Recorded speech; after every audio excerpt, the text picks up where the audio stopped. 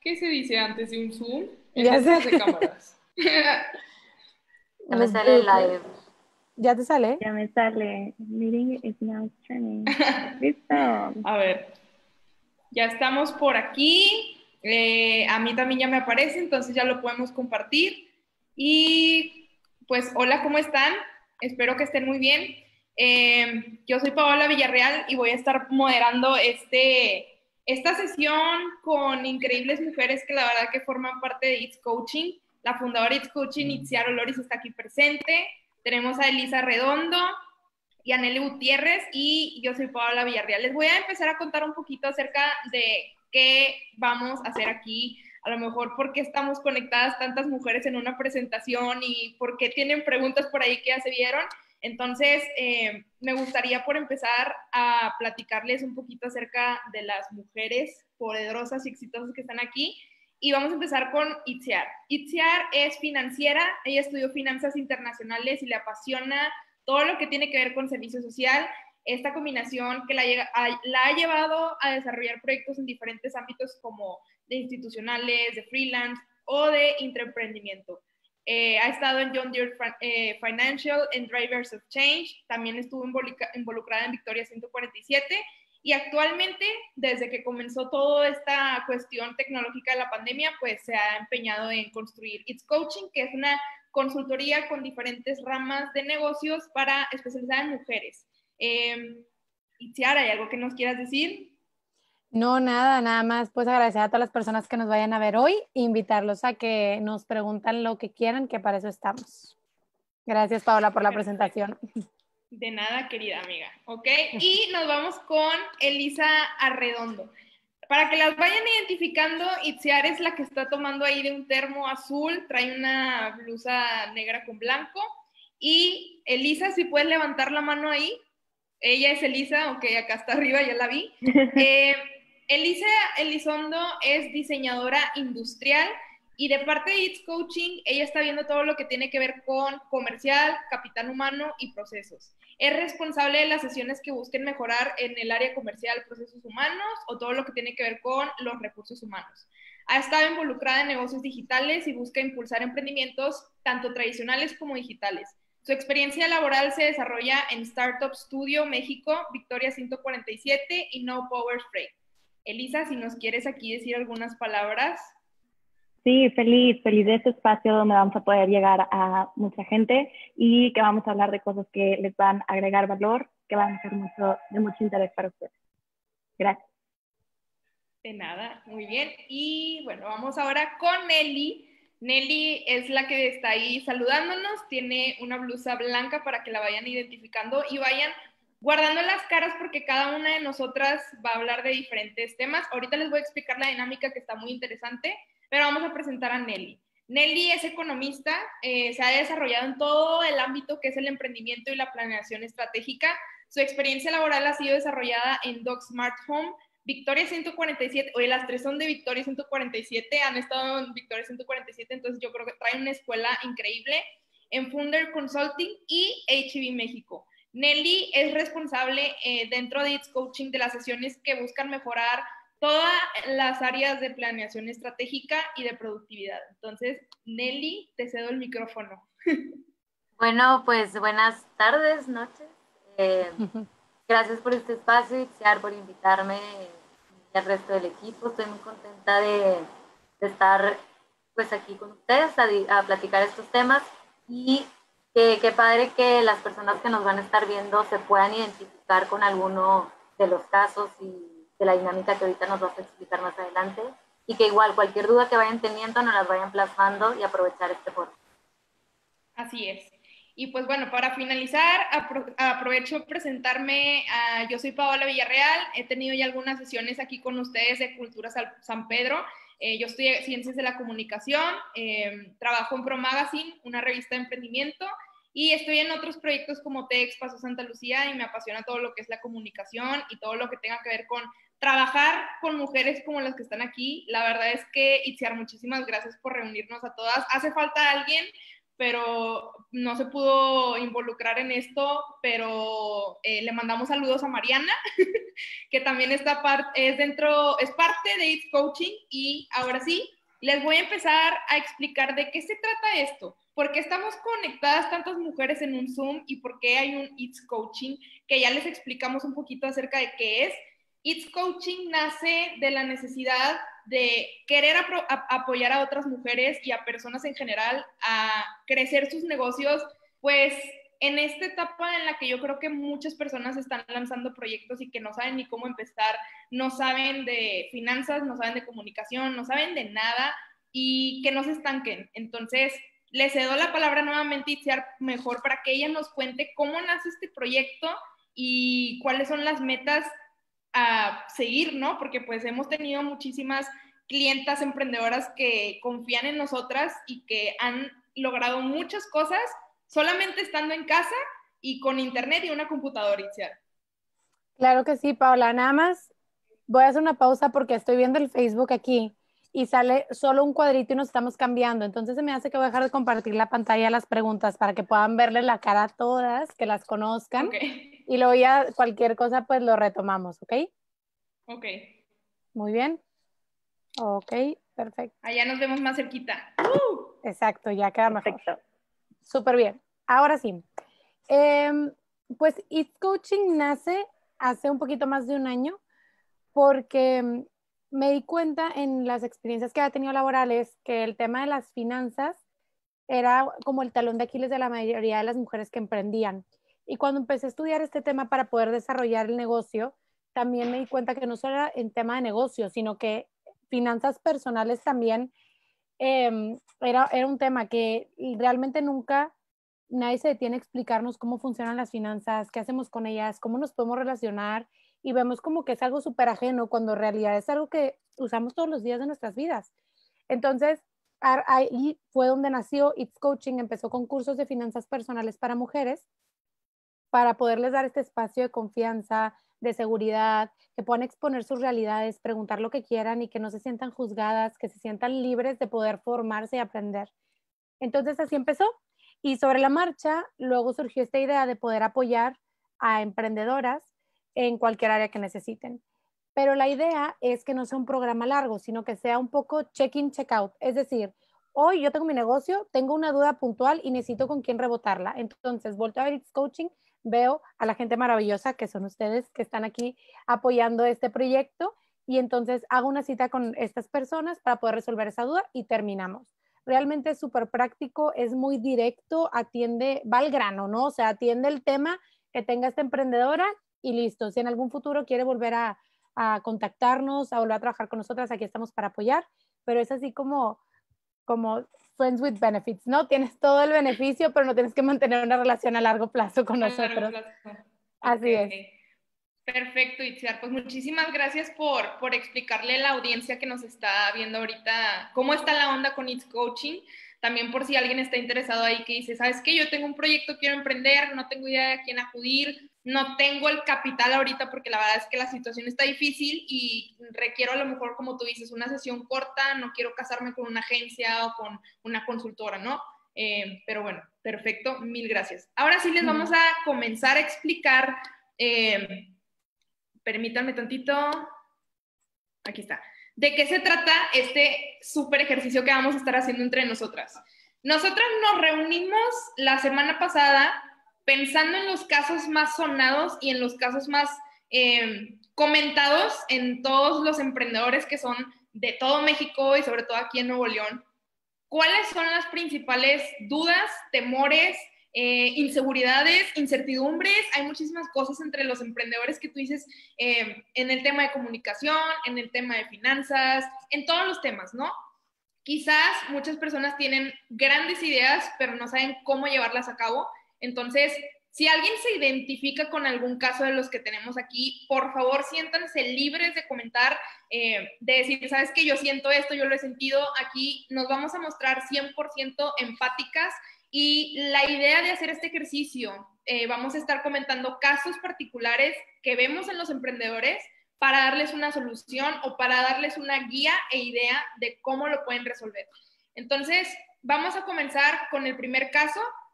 Itziar, eh, no sé si me puedas, como no vamos a estar compartiendo las preguntas, no sé si me puedas ayudar a ponerlo ahí en los comentarios. El primer caso más sonado es, quiero poner mi negocio, pero no sé por dónde empezar. ¿Ok? Entonces, alguien de las diferentes este, ramas que tenemos por aquí le gustaría empezar a compartirnos cómo empieza un negocio. O sea, por ejemplo, yo quiero empezar un negocio, pero no tengo idea cómo empezar. Tengo que registrarme en el, en, como persona física. Eh, ¿Qué hago? ¿Cómo empiezo? Bueno, ahí creo que yo te puedo empezar a apoyar. Eh, primero que nada, cuestionar. Si no tienes ni siquiera idea de qué quieres emprender, no has pensado, no tienes un producto un servicio en la mente, pues primero hay un paso antes de eso, ¿no? Que empieces a, a cuestionarte qué habilidades tienes tú, qué te apasiona. Si ya tienes algo identificado, pues empezar a, investigarle por ahí, pero si ni siquiera lo tienes, pues primero eso, ¿no? Te sirve mucho también que platiques con tu círculo cercano y confianza, ya sea tus amigos, tus familiares, que les cuestiones a ellos y les preguntes también para qué eres bueno. Y adicional con eso de cuestionarte para qué eres bueno tú y qué te apasiona, sería ideal que identifiques una necesidad en el mercado, porque así ya sería más fácil que combines tu pasión, habilidades, una necesidad y que puedas entonces construir un producto o un servicio que vaya a resolver ese problema. Entonces ya vas a tener un público, un mercado quien te lo pueda comprar.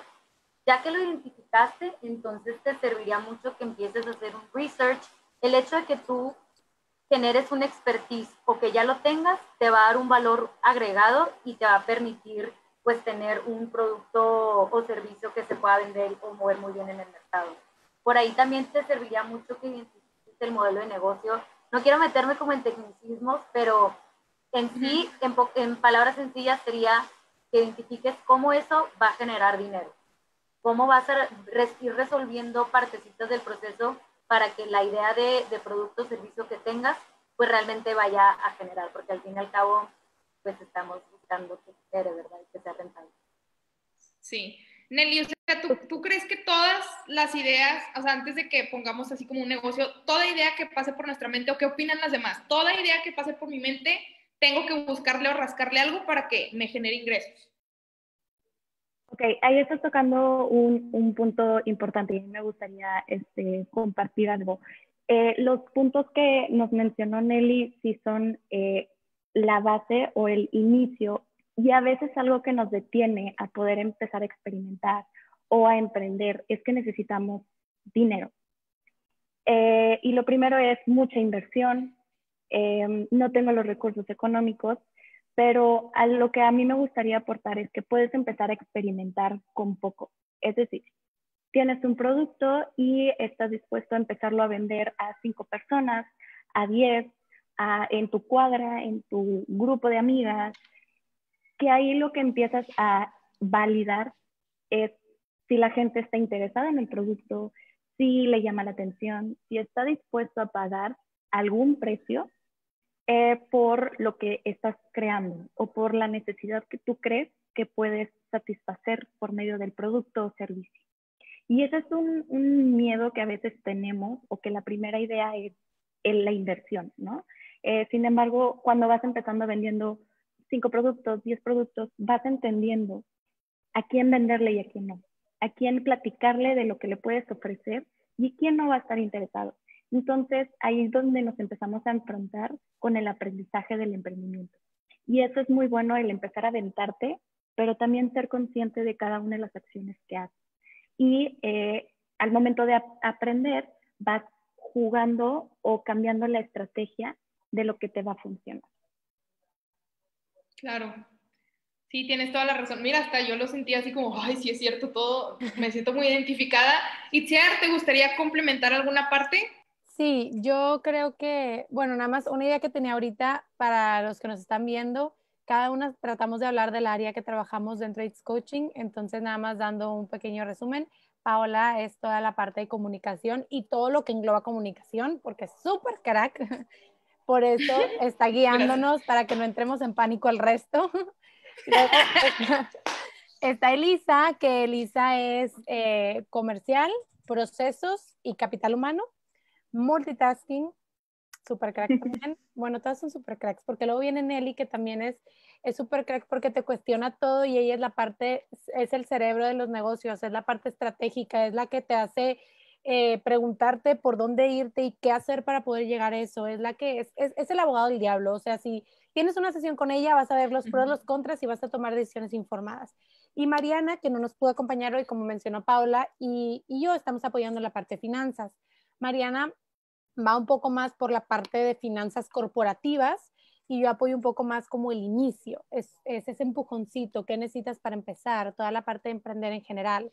Entonces, bueno, una vez ya eh, comentado esto, yo lo único que agregaría, porque me parece muy bien todo lo que han comentado, es que es importante también entender que los procesos de los negocios hay un comportamiento que se replica. Es decir, cuando inicias un negocio vas a tener un punch que te va a llevar a tener buena venta, tener un buen funcionamiento, pero de repente vas a dar un bajón. Y este bajón es llamado el Valle de la Muerte. Y es natural es natural. Entonces, a la hora de empezar un negocio es importante que consideres que va a haber unos meses en donde a lo mejor vas a estar en números rojos y a lo mejor no, va a ser suficiente para poder eh, mantener este negocio. Entonces, ¿qué hay que hacer aquí? Si, nos, si planeamos, si tenemos esta planificación financiera, vamos a poder estar preparados para no entrar en pánico, tener claro que no nos va a ir bien unos meses, que es natural, que todos los negocios pasan por ahí y que eventualmente vamos a salir. Y una vez que pasemos ese punto de equilibrio, ahora sí vamos a empezar a tener utilidad. Pero si planeamos, podemos vivir eso sin, sin creer que estamos en quiebra, sin creer que no está funcionando, simplemente pues con mucha calma, con mucha paciencia, viniendo los, viviendo los procesos naturales de emprender un negocio. Así es. Muchas gracias, Itziar. Y la verdad es que todas las partes son importantes. Eh, yo creo que y no, todas nosotras creemos que para crear una empresa, eh, servicio, producto, es esencial, todas estas que estamos aquí, todas estas personitas, que unen esa conjunción de sus diferentes ramas para crear una empresa. Del área de comunicación, lo que yo les podría decir es, voy mucho con Eli de la mano, con Elise y con Itziar. Yo lo que siempre le digo a alguien que quiere empezar un proyecto es, haz el Ikigai el Ikigai es una filosofía japonesa para descubrir tu propósito, pero hazlo para tu negocio o para lo que te gustaría crear. Entonces, ese sería mi consejo. Vamos con el segundo caso, que también digo, yo creo es muy común en muchas personas que comienzan con sociedades o que se empiezan a reunir con amigos y que dicen, oye, vamos a poner un negocio, sí, vamos a poner un negocio. Y luego quizás ese vamos a poner un negocio se puede tornar un poquito negativo porque no hay acuerdos. Eh, yo creo que todos hemos pasado por ahí y esperemos que no les pase. Entonces el tercer caso es, somos tres socios, tres, cuatro, cinco, y no logramos tener acuerdos. ¿Cómo podemos lograr como emprendedores llegar a un acuerdo? Tenemos que involucrar abogados, eh, cosas, términos legales y así. Yo creo, ay, me voy a robar la palabra. Dale, dale, adelante. yo, yo creo que, que independientemente de abogados o no, de la parte legal o no, sí tiene que haber un acuerdo y si se puede dejar por escrito, muchísimo mejor. ¿Qué pasa con este acuerdo? A la hora de tener una sociedad, cuando empezamos a emprender, tenemos este ideal bien bonito donde todo es de rosa, es como una relación tal cual. Tú te vas a casar con tu socio y vas a pasar por esta etapa de luna de miel donde todo es perfecto, pero va a llegar un momento en donde van a tener que tomar decisiones bajo estrés, donde se va a presentar una situación que no habían pensado y que a lo mejor discrepan en la manera de resolverlo, de afrontar esta situación. Entonces, sí creo que es importante dejar bajo escrito cómo se van a resolver estas situaciones. En el caso de las finanzas, viene muy bien a la hora de repartir porcentajes, darle este peso. Por ejemplo, algo que a mí me decían mucho en la carrera es, nunca ponga 50-50 mejor dejen a uno 51-49 porque a la hora de crisis, cuando no se estén dando a entender, esta persona con el 51 va a tomar la batuta, pero ya se acordó previamente con una mente objetiva y calmada. Entonces, así se pueden resolver las cosas más fácil. Esta es la parte pues financiera, porque hay muchos tipos de socios también que es importante comentar, pero creo que es una parte que ya no le toca tanto al área de finanzas. Justo creo que la parte del equipo es fundamental. Em, dentro de, la base de una empresa, pues todo existe por el equipo o las personas que lo integran.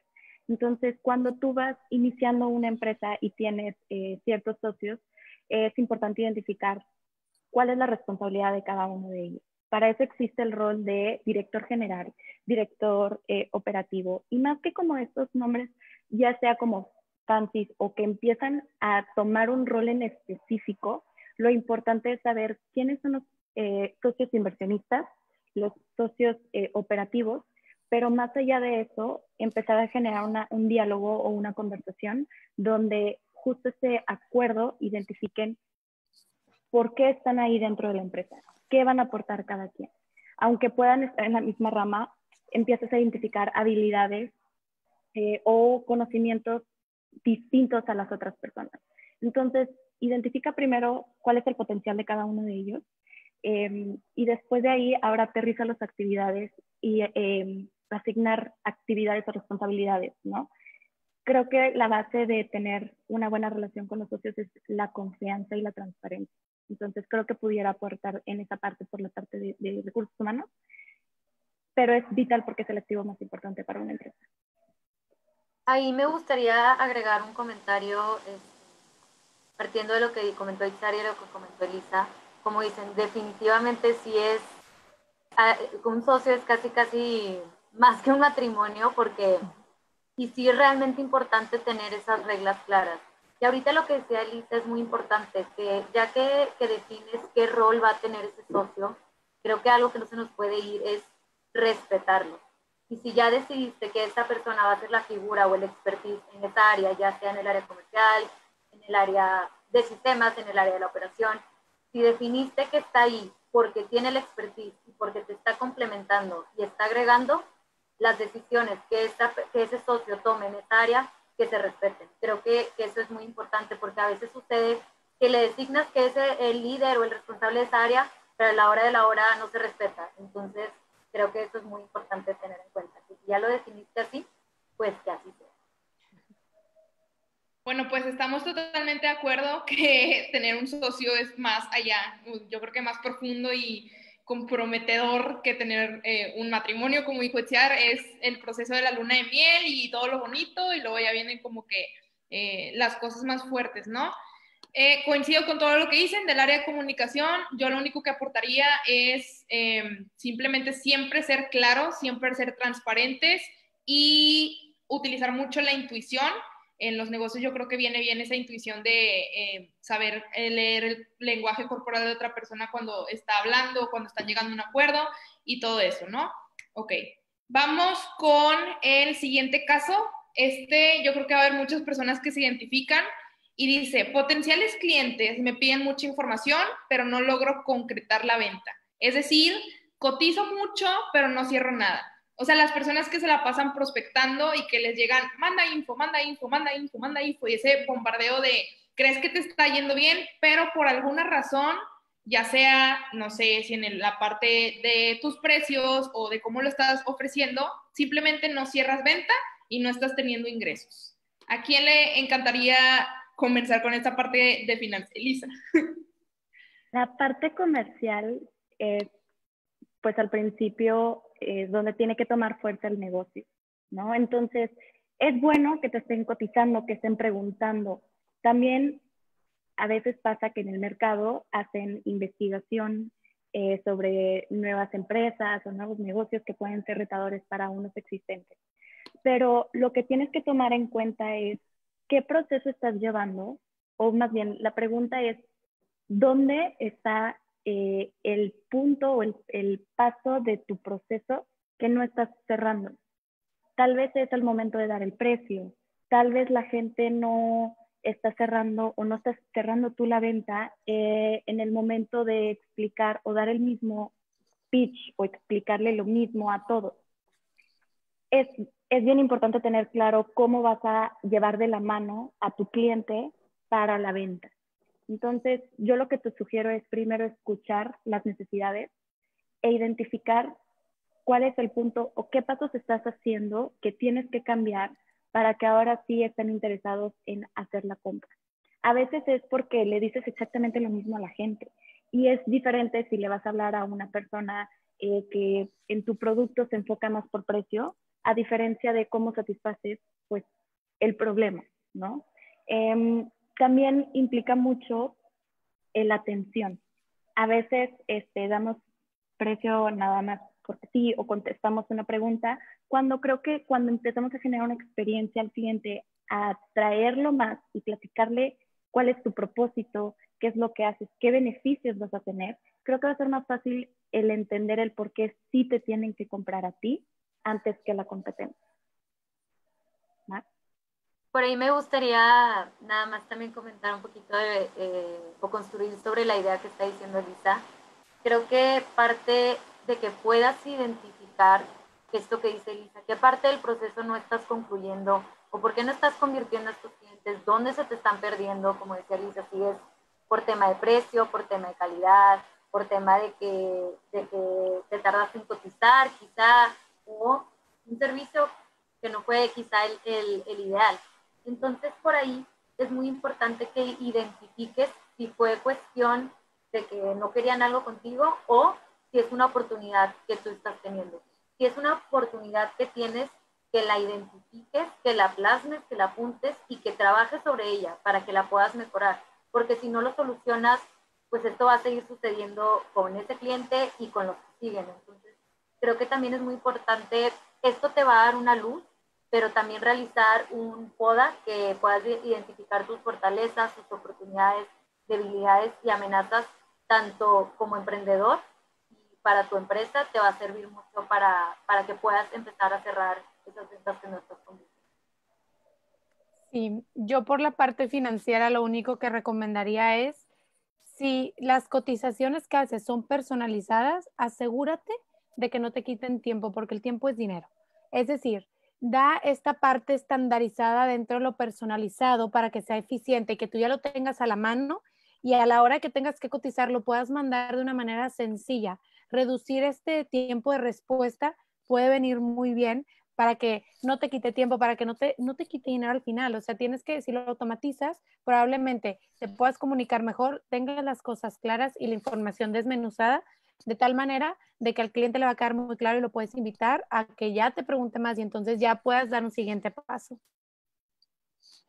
Perfecto. Tengo una pregunta ahí para ti, Este, ¿influye mucho si alguien me pide, no sé, presupuesto de algún servicio, ¿no? O de mi producto. El tiempo de, eh, de respuesta, o sea, por ejemplo, si yo me tardo en cotizar, te digo, sí, ok, te mando la cotización en cinco días y a lo mejor esa persona le urge hoy. ¿Cuál es el tiempo respuesta que recomiendas como que para dar los precios o un presupuesto? Yo creo que ya, ayer. O sea, realmente al cliente la rapidez es, es lo que mejor te va a venir a ti y a esa persona.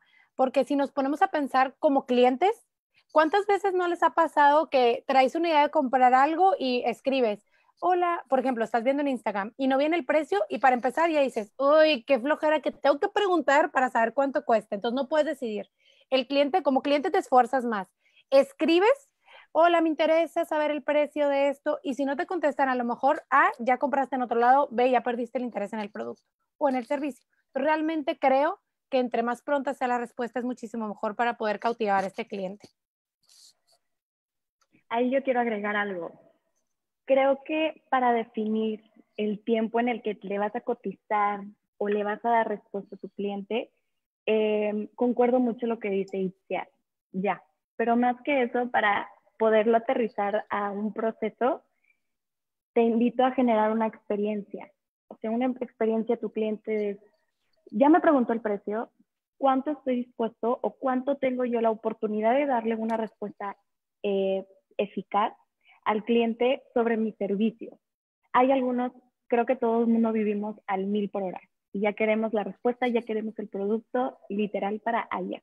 Entonces, eh, sí cuidar mucho del no hacer las cosas deprisa por cumplir, pero sí tener un proceso definido y generar esa gran experiencia con tu servicio o con tu empresa hacia el cliente, ¿no? Es como Amazon. Amazon nos encanta porque eh, la experiencia para el cliente es siempre buscar el bienestar o estar del lado de, eh, de mi consumidor, ¿no? Entonces, creo que si plasmamos e imaginamos o definimos qué experiencia, poniéndonos los zapatos del cliente, queremos proyectar y reflejar, va a aclarar mucho eh, temas importantes en, dentro del proceso de, de la venta.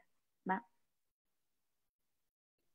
Claro, sí, tienen muchísima razón, la verdad. Me gustó mucho la respuesta de es ayer, o sea, no mañana ni en tres días. Y eso que la gente que vende servicios, productos por redes sociales, la verdad que sí es muy molesto eso de que tienes que preguntar y que se, se tardan en contestar y así. Lo ideal yo creo es poner los precios y todo el mundo está viendo así el celular siempre rápido, entonces simplemente a lo que vamos, ¿no? Ok, vamos con el siguiente caso que dice tengo muchas ventas, quizás tienes así como una lista de ventas que ya, o sea, ya vendiste o estás por vender, pero realmente no sé si mi negocio es rentable. Yo creo que por rentable se refiere a rentable a, en un largo plazo de 10 años, 20 años. Entonces ahí, ¿cómo le hacemos para saber si lo que yo estoy haciendo quizás en 5 o 10 años vaya a seguir funcionando? ¿Cómo mido esa rentabilidad? Yo creo, bueno, voy a, como nadie habló y soy la de finanzas, creo que tengo que contestar, pero eh, creo que la rentabilidad puedes encontrarla incluso, Paola, en un, corto, en un tiempo más corto, en un periodo más corto de tiempo. Incluso podrías llegar a planificar para saber qué tan rentable puedes llegar a ser desde antes de empezar a vender. Obviamente tienes que considerar algunos factores porque no sabemos cómo van a salir las cosas, pero con cierta planeación lo podremos llegar a alcanzar. De hecho, hay fórmulas financieras que te ayudan a tener todo esto súper calculado, pero no me voy a meter ahí. Em, yo creo que aquí lo importante es tener claro el punto de equilibrio. ¿Qué es el punto de equilibrio? Es identificar en qué momento gano más de lo que gasto. Entonces, si nuestro punto de equilibrio, estamos exactamente en el punto de equilibrio, significa que estamos tablas. Entonces, no, no estoy ganando dinero, pero no estoy perdiendo. Si tenemos claro cuál es el punto de equilibrio, podemos saber en que, dependiendo de la venta que tengamos al mes, si estamos siendo rentables o no, de una manera muy sencilla. Yo creo que es importante para poder saber si estamos siendo rentables o no, o si nuestro negocio es negocio, es un registro de lo que estamos gastando y un registro de lo que estamos vendiendo súper sencillo, de verdad. Creo que tenemos esta idea de que las finanzas es algo muy complejo, pero si de verdad agarramos una lista de papel o un Excel y ponemos todos los gastos del mes, todas las ventas del mes, las sumamos, a las ventas le quitamos lo que gastamos, ahí podemos ver si está en positivo, estamos siendo rentables, por lo menos en ese mes. Creo que es una manera muy sencilla y rápida de poderlo abarcar. Obviamente hay unos, unas cosas más complejas para poder hacer proyecciones y comparaciones, pero así, rapidito, creo que es la mejor manera de hacerlo. Me gustaría aportar una cosa. Aquí es muy importante, o porque lo que nos hemos topado con muchos casos y en especial en el emprendimiento, es que a veces hay gastos que no se tienen porque en un principio, pues no sé, no pago una renta porque trabajo desde mi casa o una amiga me presta su local, me presta, eh, no tengo que pagar renta, entonces no tengo que pagar servicios, no tengo que pagar sueldos porque a lo mejor nada más soy yo, soy mi socia. Pensamos que no tenemos que pagar, ¿verdad? Pero aquí es bien importante que aunque no lo estén gastando ahorita o no se esté ejecutando ese gasto, que lo empiecen a cargar como un gasto virtual, si le podemos llamar así, que lo empiecen a contemplar, porque a lo mejor ahorita te lo estás ahorrando, pero sí es importante plasmarlo que el día de mañana, cuando ya lo tengas que tener, tu precio tiene que, seguir siendo rentable, o bueno, si tu, tu venta o lo que estés generando tienes que seguir siendo rentable, aún y con esos gastos. Vas a poder cargarle cierto porcentaje o transferírselo a tu precio con aumentos, pero no todo.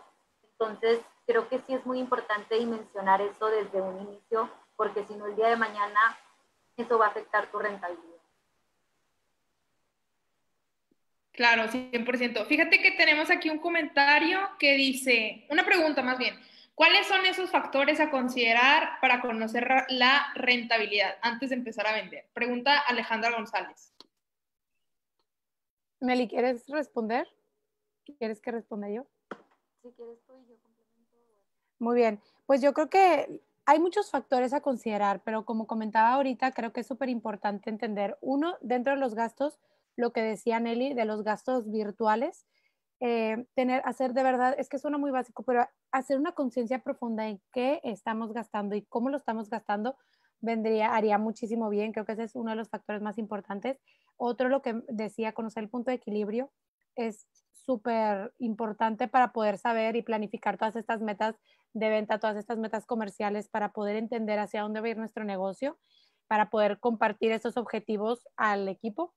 Y bueno, pues las ventas como tal, o sea, las ventas, todo lo que entra, pero realmente tenerlo definido y claro de qué está entrando por el negocio, que no sea algo, no considerar a lo mejor algún tipo de ingreso de me transferí mi cuenta al negocio, no, que sea puramente venta por la operación del negocio. Creo que con esas tres podemos empezar. Ya si te interesa más nos puedes escribir, pero nos alargaríamos muchísimo porque las finanzas se van poniendo súper complejas, como tú decías hacerlo. Entonces yo creo que con esas, si te respondí, avísame y si no, ya la pregunta más concreta la podemos volver a abarcar, Alejandra. Muy bien, gracias, Itziar. Oigan, la siguiente pregunta que viene, perdón, pregunta, el siguiente caso que viene, a mí me entusiasma mucho contestar esa porque creo que es algo con lo que muchos emprendimientos comienzan y es, trabajo en una empresa de tiempo completo, pero tengo muchas ganas de emprender. ¿Se puede hacer ambos? ¿Alguien quiere empezar a contestar? Empieza tú, Paula, ya que te entusiasma. Perdón, Elisa. ok, bueno, le, doy yo y luego pasamos con, con Elisa. Fíjense que Afortunadamente estoy rodeada de muchas personas que eh, considero emprendedoras porque ya tienen sus negocios o comenzaron eh, dando servicios en redes sociales o lo que sea, ¿no? Y todas esas personas tienen un factor común. Empezaron a hacer todo esto que querían cuando estaban dentro de una empresa. Y yo creo que es difícil, es complicado, puede tener puntos a favor y puntos en contra, obviamente. Creo que es un sacrificio totalmente... Eh, de muchas horas en las que a lo mejor vas a tener que dejar de hacer tus cosas, de tener estos momentos de paz, eh, porque vas a estar literalmente cumpliendo en la empresa en la que estás, o sea, no vamos a estar así como que jugando a, eh, ah, estoy, pero no estoy. Entonces creo que es una friega muy grande, pero al final los resultados son muy, muy grandes y la mayoría de las personas que yo conozco han empezado así en una empresa y luego ya terminan saliéndose, este, haciendo buenas migas, ¿no? Como que también manteniendo esa buena relación. Esa es mi opinión, yo creo que sí se puede, al menos lo veo en muchos amigos, pero quiero conocer, a ver, ¿qué nos vas a decir, Elisa? me, me gustó muchísimo la pregunta, te voy a decir, porque... Eh, se escucha muy común. Incluso hasta la gente trata de decidir si se queda o sale a experimentar.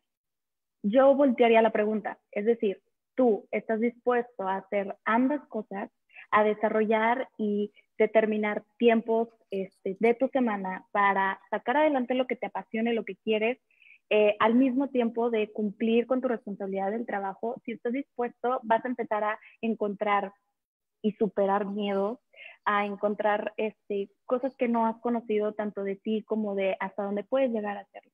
Entonces, creo que la pregunta sería hacia la persona. ¿Estás dispuesto tú? Porque es mucho trabajo, es mucha responsabilidad, pero no es algo para asustarte, sino es a que estés 100% dispuesto a hacerlo, porque ya un momento en el que arrancas, ya no es para parar, y vas viendo la evolución y te vas enamorando y emocionando y ahora te vas dando cuenta donde tienes que sumar a más talento. Entonces creo que la pregunta sí la daría yo directamente a la persona em, y cada, cada momento te vas a ir midiendo tú si vas avanzando, si sí te apasiona, si no, y al final sigues teniendo tu trabajo, aunque no quiero que suene como una zona de confort, sino es experimentar si estás dispuesto y si realmente quieres emprender. A veces suena con que todo el mundo está emprendiendo y yo también lo quiero hacer.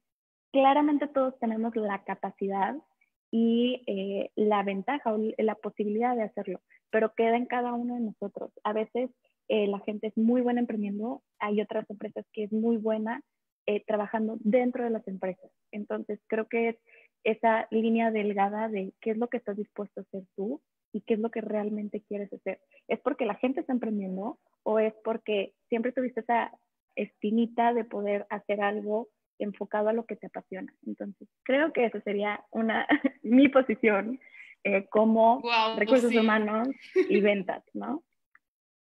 Está increíble tu respuesta. Yo creo que muchas personas se van a poner a pensar así como que, wow, o sea, como que te cae así el, no sé, mucha gente quiere emprender porque todos están emprendiendo, pero a veces, no sé, o sea, quizás te puede ir bien en algún puesto de director en una empresa o algo así. Creo que es un camino en el que tienes que ir avanzando y descubriéndolo al mismo tiempo, ¿no? ¿Alguien más quisiera agregar algo? Por ejemplo, quisiera ver a la experiencia de alguien que ya haya estado en una empresa y que haya dicho, bye, voy a emprender. Vamos con Nelly.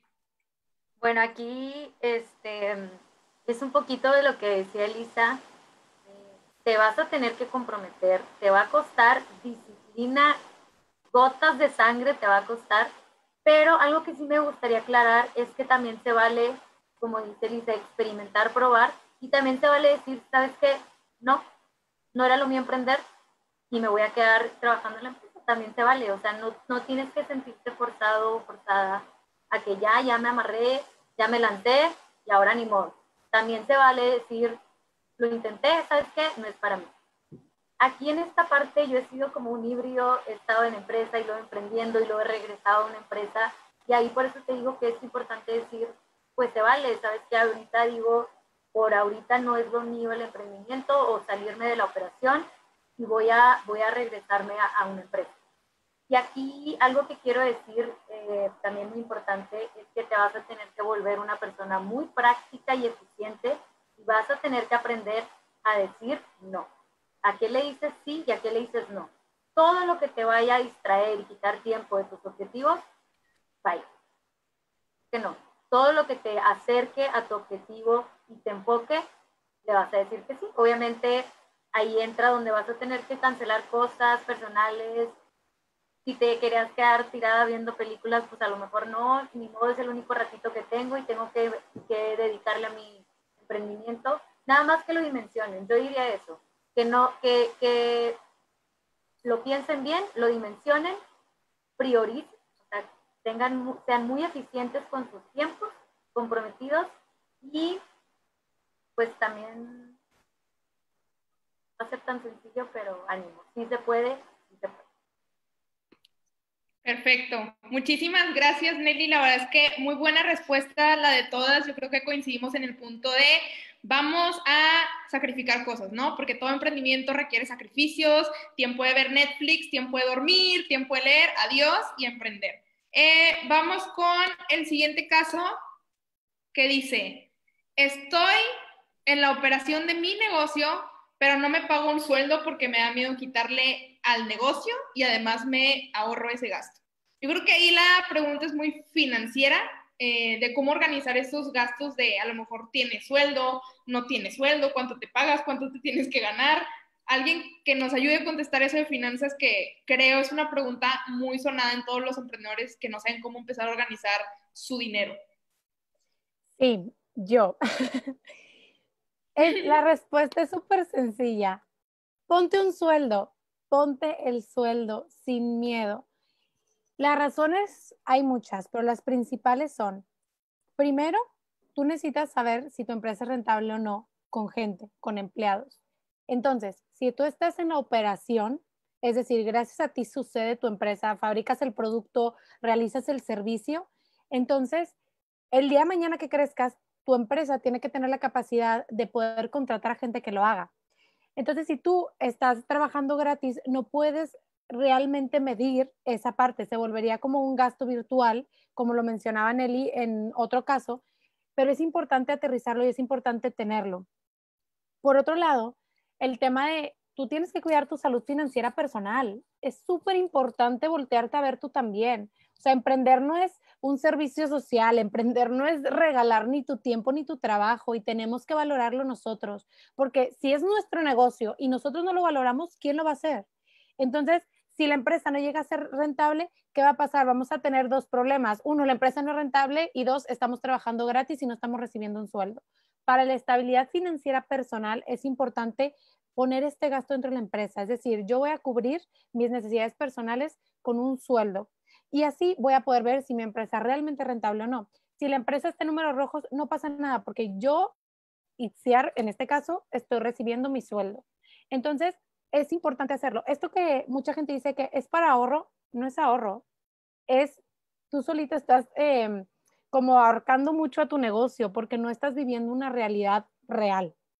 Estás viviendo como una fantasía donde no das sueldos. Entonces es súper importante, es súper importante para el crecimiento de tu empresa, es súper importante para la rentabilidad de tu empresa, es súper importante para tu salud financiera y puede haber una lista muy grande de cosas, pero creo que esos son los puntos más importantes.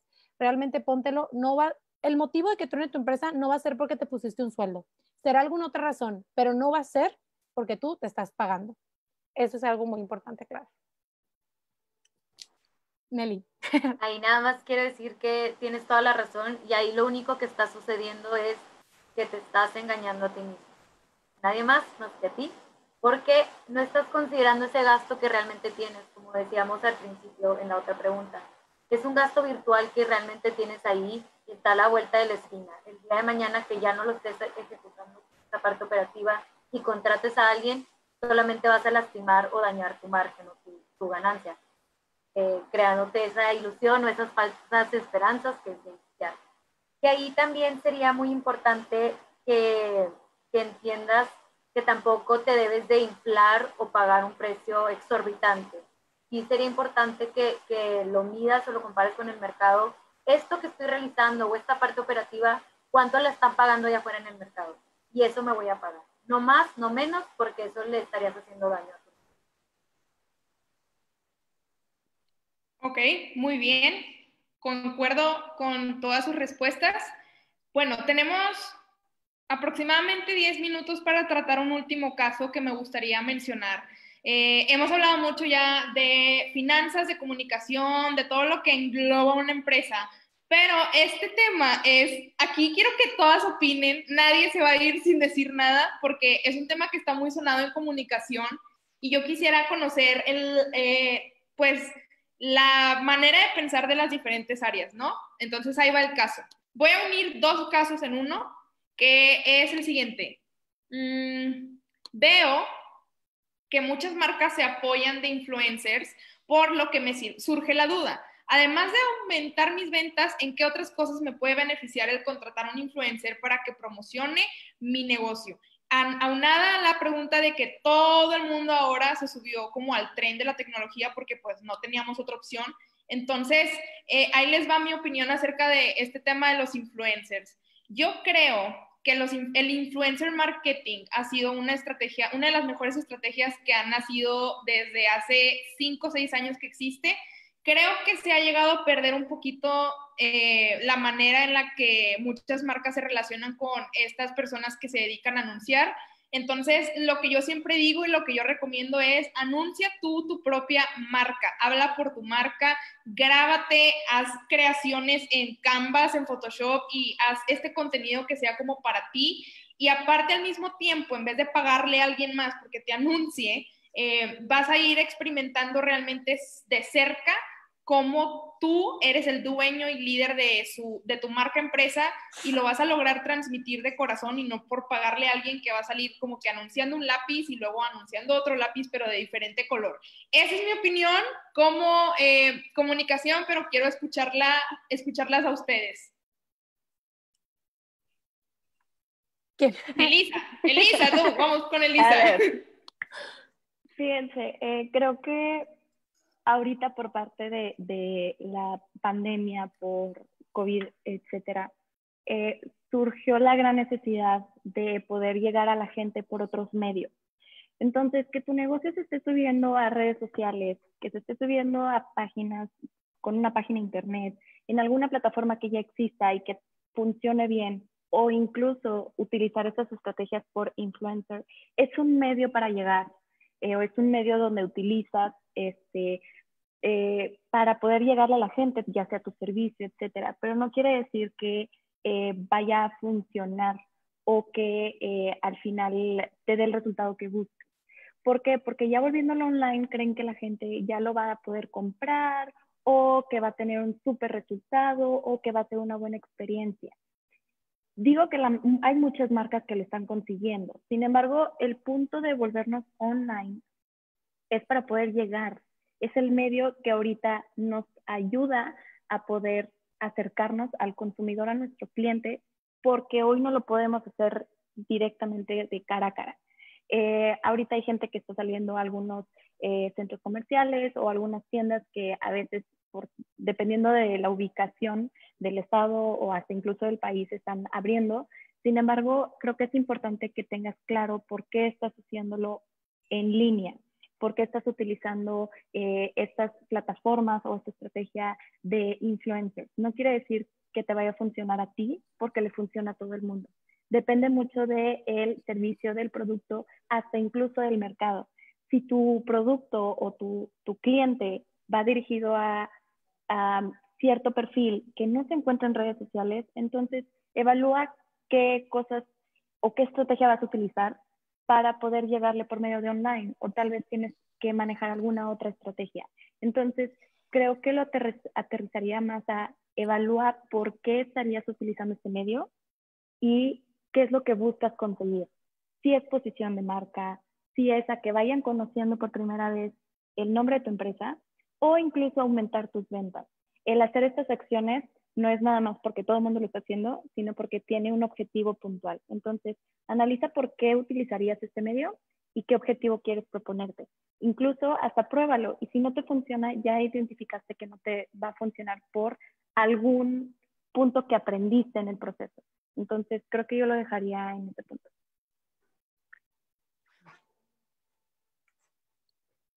Bueno, a mí me gustaría comentar por una parte de voy a poner el supuesto de que perfilé muy bien a mi cliente y a mi influencer. Estamos bajo ese supuesto. Entonces, pues ya, sé que voy a tener un éxito asegurado en cuestión de que va a ir al público correcto dirigido y que esa persona va de acuerdo a los valores o, o consume el producto o servicio que voy a anunciar. Ya, palomita, ya tienes el 50. Pero quiero ser claro que el otro 50 depende, o de que esta campaña sea un éxito va a depender de que realmente puedas capitalizar esa, esa estrategia o esa campaña que vas a tener y que de ese pico de ventas que vas a tener, porque lo ha, pasado y, me da mucha risa que normalmente suben, quebré el sistema y se saqueó todo lo que el influencer eh, anunció, ya están saturados los pedidos. Ok, eso quiere decir que fue un pico de ventas pero aquí lo importante va a ser que lo logres capitalizar y que esas personas que te compraron en este pico las puedas fidelizar para que sean clientes recurrentes y sea una venta que tú puedas hacer o generar que, sea una venta estable. Es algo que a mí me gusta. Recordar que no todo depende del influencer, sino hay tarea posterior y que eso va a hacer que, que pueda ser una campaña A mí me gustaría complementar nada más, me parece súper bien lo que cada una ha comentado. Por mi parte, lo único que diría es, ten en claro que no porque el influencer comparta tu producto o servicio significa que vas a generar venta. ¿Qué pasa? Que mucha gente a veces viene y nos dice, es que le metí demasiado dinero para que el influencer compartiera esto y tal y no me generó nada de venta. Está bien, me parece perfecto. Lo único que necesitamos hacer es que tú consideres que este es un gasto de publicidad. ¿Qué quiere decir? Que esto, tú, este influencer es una herramienta para que conozca a la más gente tu producto o tu servicio, pero no necesariamente es que se va a concretar la venta. Que puede ser que sí, porque pues muchos influencers realmente sí llevan a, a este call to action que es comprar tu servicio o tu producto, pero si lo ves como publicidad ya no es un gasto que duele tanto, o sea, la publicidad tú la, es como poner tu, negocio out there y que la gente decida si quiere ser parte o no. Y eso es lo que es un influencer. No porque es influencer significa que es una venta segura. Entonces, nada más considerando eso para mantener tu paz, tu estrés y que sepas a dónde meter el gasto del influencer este, dentro de tus financieros, pues hacerlo por ahí. Ok, perfecto. Pues muy bien complementadas todas las, respuestas. Eh, vamos a Ok, ya. Son las 8, entonces si alguien tiene alguna pregunta que le gustaría hacernos de cualquier área o de que sabes que yo me quedé trabado aquí, trabada acá, eh, tenemos unos pequeños minutos para, pocos minutos para contestarlas. Por aquí leemos un comentario y dice, son un gran equipazo, muchas gracias, la verdad es que eh, las mujeres cuando se unen pueden hacer grandes cosas. y cuando las mujeres se apoyan ahí, en vez de competencia o esa idea que tenemos de competir entre las niñas, aquí en este caso no hay competencia, nos ayudamos y, somos amigas también por afuera. Entonces, no sé si alguien tenga alguna pregunta, eh, comentario, sugerencia, duda, porque ya se nos acaba el tiempo. Yo creo que Paola, mejor que nos escriban cualquier cosa, nos pueden encontrar en, Instagram y en Facebook como It's Coaching.